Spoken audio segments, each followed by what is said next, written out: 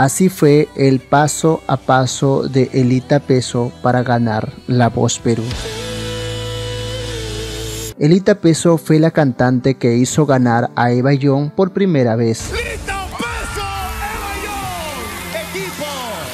Durante la competencia, la Pantojita interpretó canciones dignas de una final. La cantante Elita Peso es la flamante ganadora de la última temporada de La Voz Perú. La noche del sábado 20 de agosto, la joven artista alzó la copa junto a su entrenadora Eva Young, quien por primera vez triunfó en el concurso de canto de Latina después de 10 intentos. Desde su audición a ciega, Elita Peso fue una de las favoritas a ganar el concurso. La misma Daniela Darcourt aseguró que veía a la popular Pantojita como la gran vencedora del formato y Christian J. Penn en más de una ocasión se declaró fans de la cantante de Iquitos. Lita Peso volvió a la competencia de La Voz Perú este año con la canción Quererte a ti. Aquel día la popular Pantojita logró que las cuatro sillas de los entrenadores se voltearan. Daniela Darcourt, Noel Shahris, Eva Young y Christian Yeipen la llenaron de elogios, pero ella decidió quedarse con el equipo de la intérprete de Malpaso.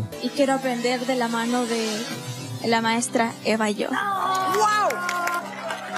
Antes de su audición a ciega, Elita Peso le dijo a Cristian Rivero que no se sentía segura de volver a probarse en La Voz Perú.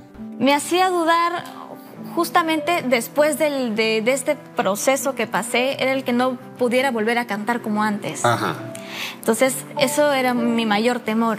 Eso definitivamente no me define como artista. Soy una mujer de retos, que la lucha hasta que la consigue y esta no es la excepción. En la etapa de las batallas de la Voz Perú contra su compañera Perlas del Perú, ella no se mostró tan cómoda durante el primer ensayo. No obstante, después de participar, la selvática logró ir de menos a más. Ya en la tarima, las pupilas de Eva Young protagonizaron una de las mejores batallas de la temporada, pero fue Elita quien logró convencer a la entrenadora. Perla estaba más cómoda que Elita. No siempre hay que cantar arriba, arriba, arriba, arriba.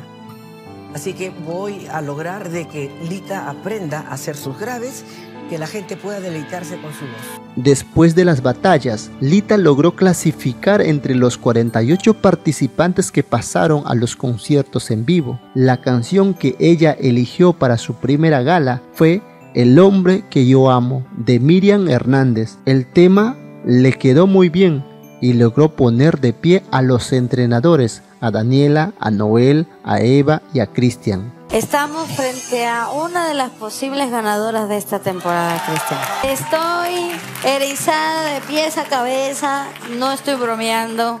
He visto la evolución de Lita. Hoy está increíble, se ha despegado totalmente de su interpretación de Isabel. He sentido la voz de Lita peso como tal. Días después, con la canción Acaríciame, la artista mostró una faceta sensual y control de escenarios, a tal punto que Christian Yeipen se quedó sin palabras y aseguró sentirse que ella lo estaba cantando dicho tema. Lita, mis respetos para esta presentación. La verdad que yo iba escuchando a Lita y iba no sé, me se iba entregando, ¿no? sí, como si me la iban cantando a mí. Eso es muy bonito cuando un cantante logra eso. En su tercera gala, Lita Peso utilizó una de sus cartas e interpretó Celos, tema de Camilo VI que ella ya había versionado y que se encontraba en su canal de YouTube. Aquel día, Daniela Darcourt volvió a hacer un gesto de reverencia. Lita ha venido creciendo, su interpretación me recuerda mucho a Miriam Hernández por momentos, cuando se va de costado, eh, de todo lo que ha aprendido desde que imitaba a, la Pantoja y ahora está aquí con su propia voz, tiene identidad, tiene potencia, eh, tiene carisma, tiene ángel, de verdad a mí me gusta mucho, me has parado los pelos, te respeto fuera de la competencia, dentro de la competencia y creo que de verdad lo que estás haciendo cada vez es mucho más increíble de lo que inclusive yo misma me imaginé.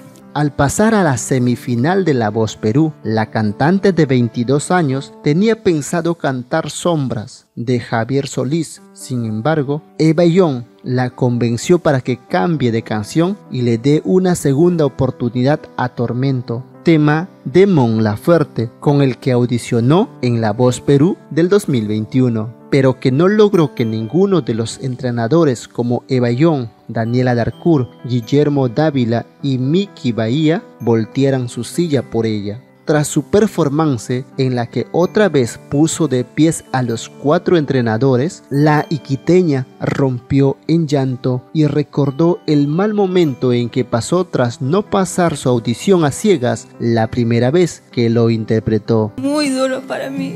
No sabemos. Pensaba en dejar la música. Pensaba en que ya no iba a volver a cantar como antes. Vine aquí a este escenario para mostrar lo que puedo dar y sentía que en las anteriores veces no daba mi 100%. Y de verdad agradezco mucho al equipo, a la voz, a ustedes maestros por haberme dado esa oportunidad de poder entrar a un programa tan importante como este. Vengo tres años iniciando esta aventura como Lita. Ha habido muchas puertas cerradas, pero hoy definitivamente estoy disfrutando todo esto, esta experiencia y este proceso. Y como dijo la maestra, mucha paciencia. Gracias al voto de confianza de su entrenadora, Lita Peso llegó a la gala final del sábado 20 de agosto. Ese día, La Selvática y Eva Young interpretaron Desesperado y lograron emocionar a los demás entrenadores. Desesperado, necesito tu cuerpo caliente mi lado. Y, lo mejor que he visto hasta ahora en ese escenario ha sido esto y, y yo creo que usted merece ganar esta competencia, maestra, y su, y su, y su gran cantante. Lo digo de corazón, lo digo de corazón. Tras lograr pasar a la segunda parte de la gran final de La Voz Perú, gracias a los votos del público, Lita Peso tuvo una oportunidad más de convencer a la gente para que la eligieran como ganadora. Ella volvió a interpretar El hombre que yo amo y con esa canción se convirtió en la quinta ganadora de La Voz Perú.